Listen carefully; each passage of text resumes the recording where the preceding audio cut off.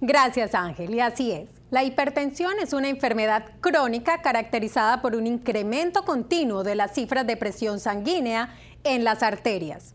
No se sabe con exactitud las causas que provocan la hipertensión.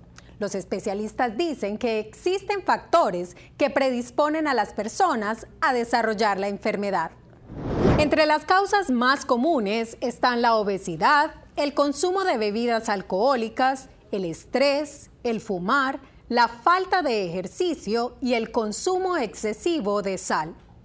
En caso de que estos hábitos no sean cambiados por personas que tienen la presión alta, los médicos advierten que la hipertensión puede ejercer efectos dañinos en el organismo, entre ellos insuficiencia cardíaca, alteración de los vasos sanguíneos, disminución en la función renal, trombosis cerebrales y obstrucciones de las arterias, entre otros.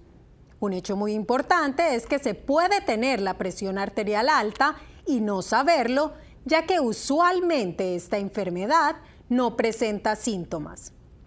Por eso ha sido llamada la enfermedad silenciosa. Como recomendación básica para las personas que tienen hipertensión, los doctores afirman que se debe seguir un tratamiento hipertensivo indicado por un médico tratante.